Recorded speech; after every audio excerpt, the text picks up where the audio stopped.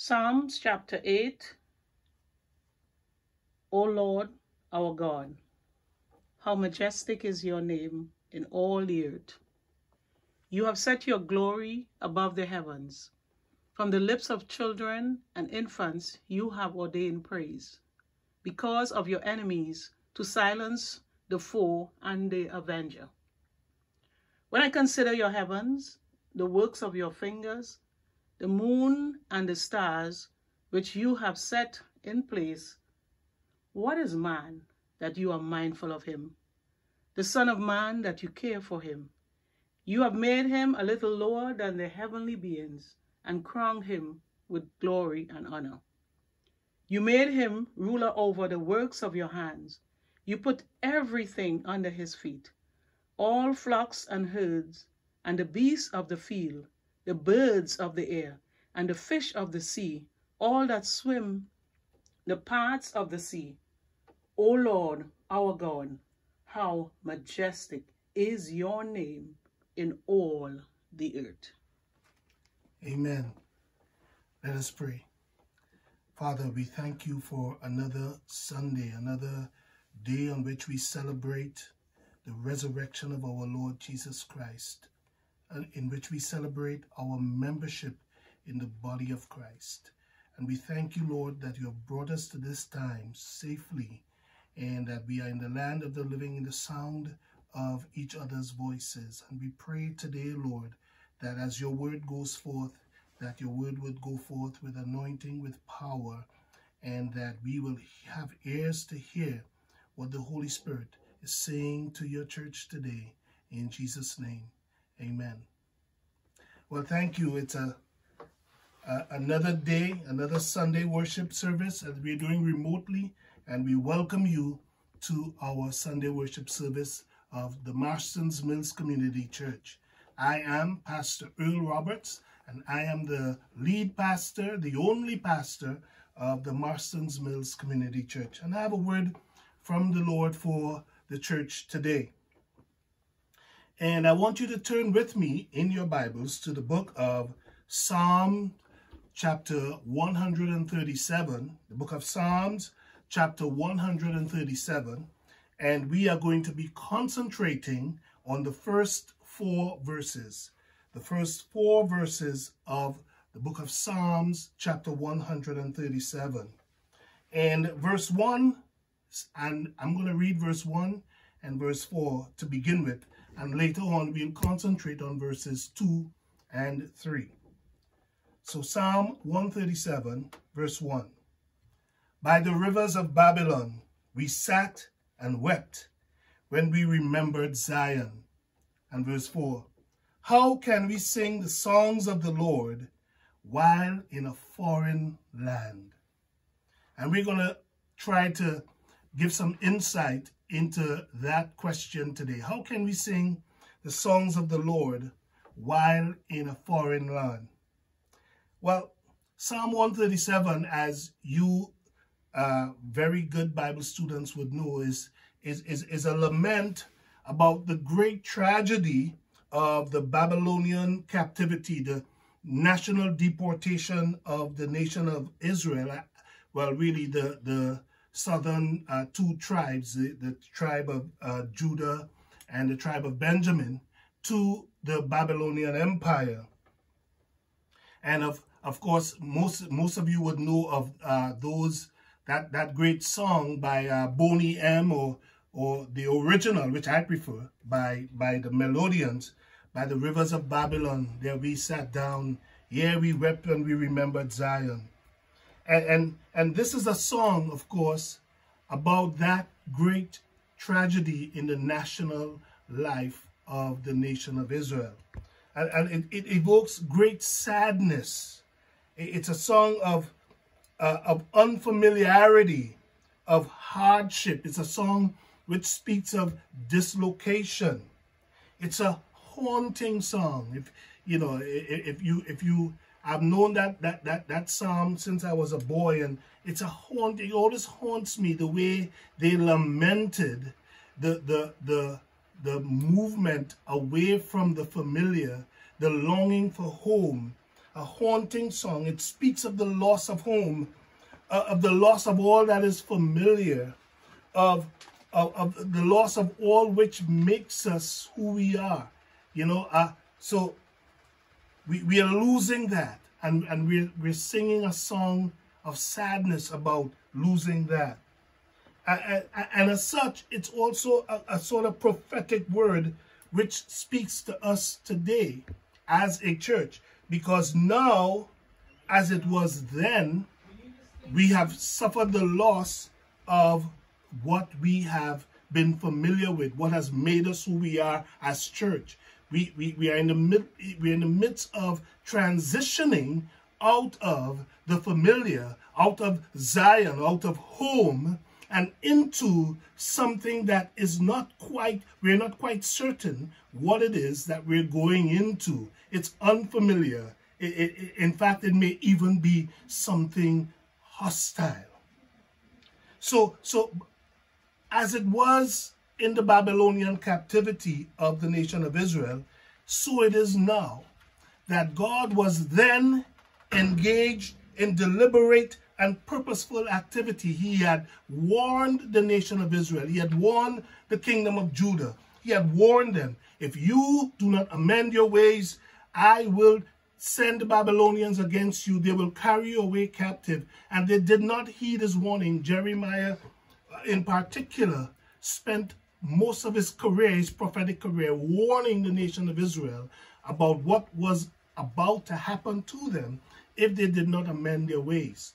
And, and, and, and, and God was indeed behind the Babylonian captivity, raising up the Babylonians and bringing them against Israel to take Israel away from the land for 70 years. And, and, and then, as it is now, I believe that was a watershed moment in the life of the nation of Israel. For forever thereafter, you people, you, you, the historians will speak of pre-Babylonian captivity and post-Babylonian captivity.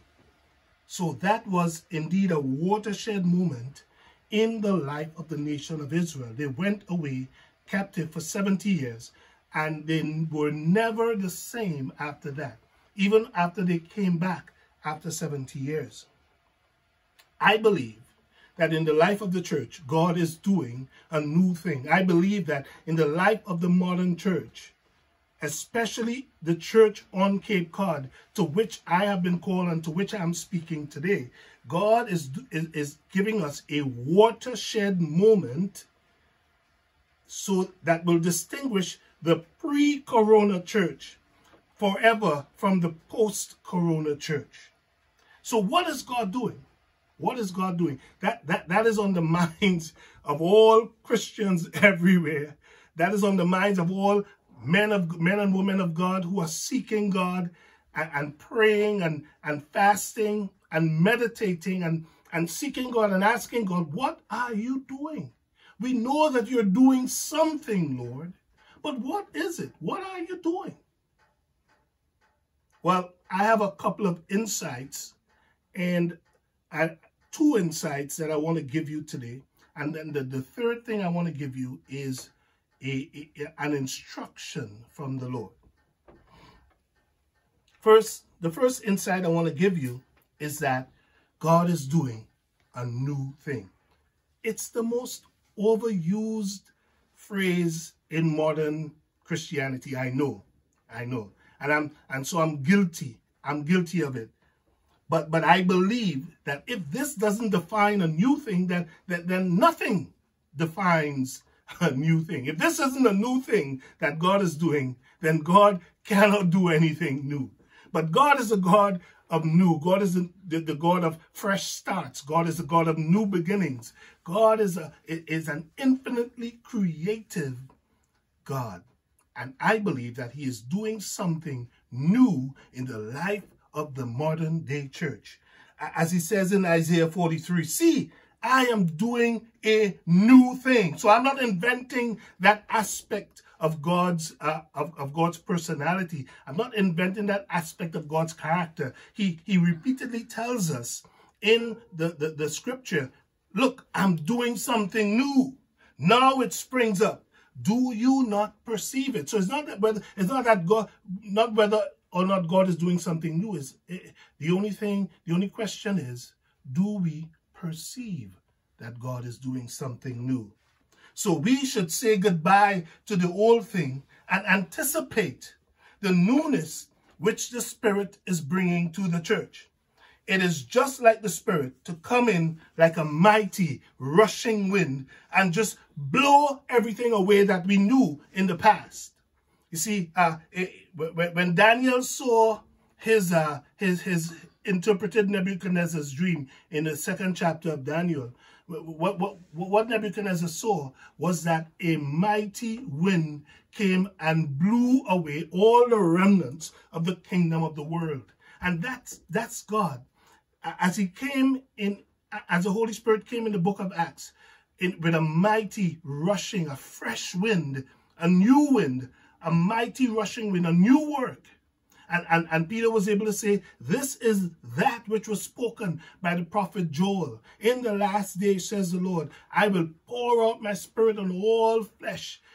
And so that was something that had not been seen in that dimension before. And I believe similarly that God is doing something so new that it requires that God put a definite partition, set a definite uh, event which which forever identifies the point in time that God has that God started or initiated something new in the church. See, I'm doing a new thing. Do you not perceive it?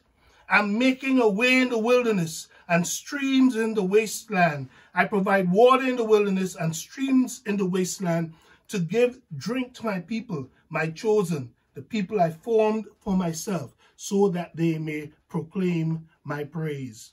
So what this new thing that God has initiated, it will appear to us sometimes as though God has just dropped us into a, a, a desert, into a wilderness, into a, a, a trackless uh, piece of land in which we cannot find our way. But he has promised to make a way in the wilderness. And so as we negotiate this newness, know that God's Spirit is with us and he will guide us. He will tell us to go right or left. He will tell us yea or nay. He will bring to our minds and bring to our remembrance some of the newness, some of the new things that he is telling us that we should be involved in and that we should do in this new era of church.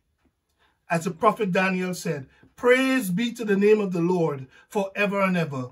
Wisdom and power are his. Why? He changes times and seasons. Daniel 2, 20 and 21. God changes times and seasons, and he is in the midst of doing a new thing.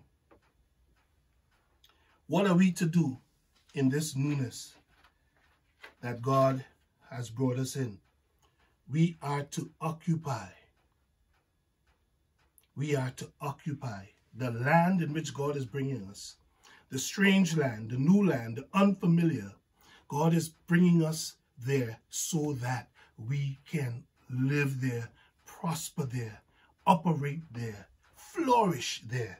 He told the nation of Israel in, in Jeremiah 29, 5, 7, and 11, he told them, build houses in this new land that they're going into, even though it, it, it, it, it, it's, a, it's a land of captivity, you build houses, settle down, plant gardens, eat what they produce, seek the peace and prosperity of the city to which I have carried you into exile. Pray to the Lord for it, because if it prospers, you too will prosper. For I know the plans I have for you, declares the Lord, plans to prosper you and not to harm you, plans to give you a hope and a future. So you see, it is in the it is in the context of this newness, this unfamiliarity, this seemingly hostile new environment which the nation and the church finds itself that God is saying, settle down there, flourish there. This is where I have brought you, and I have a plan for you in this new thing to, to, to make to build, build your hope and a future. I didn't bring you here to harm you. I bring you here. I brought you here so that you may flourish here. Even if it is something new, even, even, if, even if you have to learn new ways of flourishing, even if you have to follow me where you have not seen me before, I'm there and I'm bringing you to prosper the church. Are you with me? And it is a strange land. It is, it is strange in that we have not been this way before. This new church that emerges, and, and for some reason I can't stop preaching about the emerging new church. Uh, we think we have seen new church before, but but but let me tell you, church is going to church has changed will change and will continue to change in ways which we have not yet anticipated and have not yet seen but in ways which god has not revealed to us as yet. He's only telling us hey this is new. You haven't been this way before it's a strange land.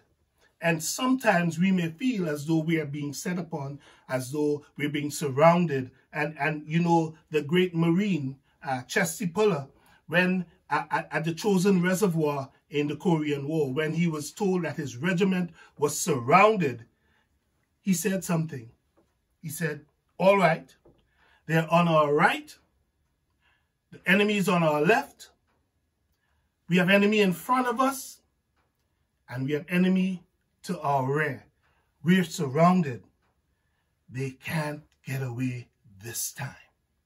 He turned the whole concept of being surrounded into an opportunity to fire all around his perimeter at the same time. And this is what God is doing. God is a God who turns the captivity into captives. So he's a God who who who, who led captivity captive when he when, when, when he rose from the dead. He led captivity captive and gave gifts to men. So what the enemy has, has intended for our evil, what the enemy has intended in order to restrict us, to constrain us, to capture us, God is, is, is turning into an opportunity. You see, God is reframing the captivity. The children of Israel were captive. The church appears to have been straitened, have been uh, uh, uh, dismissed out of their churches. But what, what God is reframing that into an infiltration. When the enemy thinks that he has us surrounded, we have him infiltrated. You see, the truth is that what the enemy thought was a captivity, God has determined that it is an infiltration. The truth is that there is no strange land for the church. There is no strange land. It is all God's land. The earth is the Lord's and all its fullness, the people and everything and all who live in it. And the kingdom of the world will become the kingdom of our Lord and of his Christ. So to the church, no land is hostile. To the church, no land, we cannot be constrained and captured anywhere we are. In fact, what God is giving us, even though the enemy thinks it's that they have us boxed in, what they have in fact is the church in the midst of the enemy. And the church will be the church wherever the church finds itself, in whatever situation the church finds itself, in whatever land the church finds itself. If we are church, then we become the victors. We become the infiltrators. We become the aggressors. We become the ones who, who, who, who preach the word of God and spread the message of the kingdom of God to our in the midst of the enemy camp. Amen. The enemy has made a mistake. And and and in Psalm 137, that's Psalm of Lamentation, they didn't comprehend at the time the opportunity that the enemy gave them. But we as church, we understand the, the opportunity we have. We understand the time that we have. The Times says Psalm 137, chapter verses 2 and 3 says, There on the poplars we hung our harps. For there our captors asked us for songs, or tormentors demanded songs of joy. They said, Sing us one of the songs of Zion. They said, Sing us one of the songs of Zion. See, God has brought the instrument of revolution and the instrument of revelation into the midst of the enemy camp. And God has arranged for them to ask us for it. They think they have us captive, but no, we infiltrated them. And then they think that they're mocking the church by saying, sing us one of the songs of Zion. But the songs of Zion are what brings the power of God to bear. And this is what the Lord is saying to the church today. So, two insights. Number one, the first insight is first insight is God is doing a new thing. The second insight is insight is that this is no strange land. This is God's territory in God's time for God's people. And the, the, the, the one instruction that I have from the Lord is unhang those harps. Unhang those harps. Those harps that you hung in shame and in sadness and in desperation. You said no more. You hung them on the poplars. Take them down and begin to sing the song of the Lord. Through the praise of children and infants, God has established a stronghold against the enemy and to silence the foe and the avenger. God says, sing to the Lord a new song. Sing to the Lord all the earth. Sing to the Lord. Proclaim his name. Proclaim his salvation day after day. Declare his glory among the nations where I have sent you, where I have caused you to infiltrate, I have placed and positioned you. Sing his glory, declare his glory, his marvelous deeds among the peoples uh, which I have scattered you or infiltrated you. Sing the songs of Zion. They who wasted us required of us mirth. They said, sing a song. But when the song of the Lord begins to come forth, the presence of the Lord is manifested. And when the presence of the Lord is manifested, the glory of the Lord is seen. And when the glory of the Lord is seen, God reaches out his hand to save and to convert and to and, to shift the, the, the, the scenario out of what people believe it is into what he would have it to be. In, into God sets the conditions for a mighty move of his spirit among the nations. And that is what God is doing now. So unsling those harps.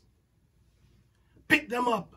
Sing the songs of Zion once more. Not the songs of the Zion that we left behind, but the songs, the new song. Sing a new song unto the Lord. The song of, of where we're going, not the song of where we've been. Where we've been was good. Where we've been has set the stage. Where we've been has set the foundation. But where we're going is so much more glorious. It's from glory to glory, even by the Spirit of the Lord. Sing a new song in the midst of where God has planted us, where God has placed us, where God will deposit us at the end of this coronavirus pause. Sing a new song and see new things break forth in the name of Jesus and for his glory.